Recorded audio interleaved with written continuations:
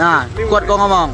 Ku kasih nanti sa- sama ku ambil nanti uang 50 ku kasih sama Bang Ale baru ku videokan kakakku kalau mandi beredar sebuah video yang memperlihatkan seorang bocah sedang mengalami kasus bully. Terjadi di daerah Medan, Sumatera Utara. Lebih tepatnya saya tidak tahu pasti di mana. Tapi menurut kabar yang beredar di sosial media yang pertama diposting oleh warga raya nama Facebooknya.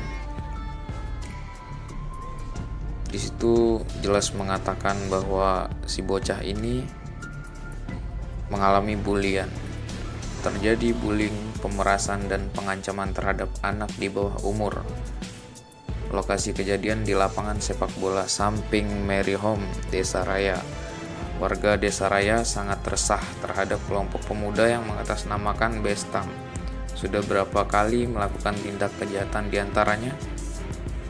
Melakukan bentrok di SPBU Halilintar, melakukan penganiayaan terhadap dua orang pemuda di lapangan sepak bola Desa Raya, dan penganiayaan itu sangat sadis, sampai kelamin korban dibakar pakai rokok, dan korban sempat opname dan keluarga korban mau menyelesaikan secara kekeluargaan.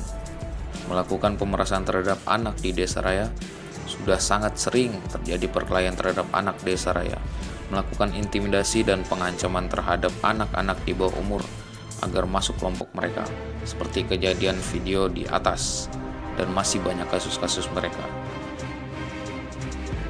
Dikutip dari akun warga raya, dengan akun ini kami wakili seluruh warga desa raya meminta maaf kepada korban yang ada bahwa pelaku hanya oknum bajingan dan sampah masyarakat di desa raya. Dan kami mohon kepada teman-teman dan rekan semua agar membantu kami warga desa raya untuk melaporkan orang-orang dan kelompok tersebut. Kami warga desa raya sedang berjuang berjuang untuk melaporkan para pelaku kami saat resah menghadapi kelompok tersebut. Mohon bagikan kepada grup perlindungan anak karena masih banyak korban-korban. Nah, kuat kau ngomong. ku kasih nanti sa- sama ku ambil nanti uang 50 ku kasih sama Bang Ale baru ku videokan kakakku kalau mandi kalau misalnya enggak di dibakar aku sama dibunuh sama dibakar rumahku Terus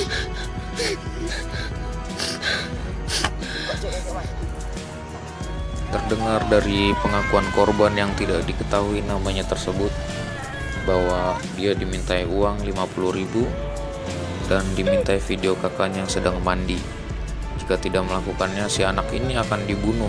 Itu merupakan suatu ancaman yang sangat besar dan bisa mengganggu mental si anak tersebut.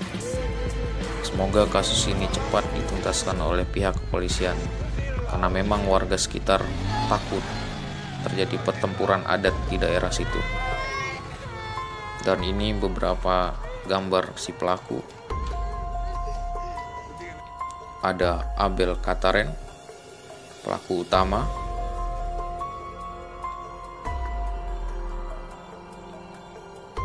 Ada David Kataren,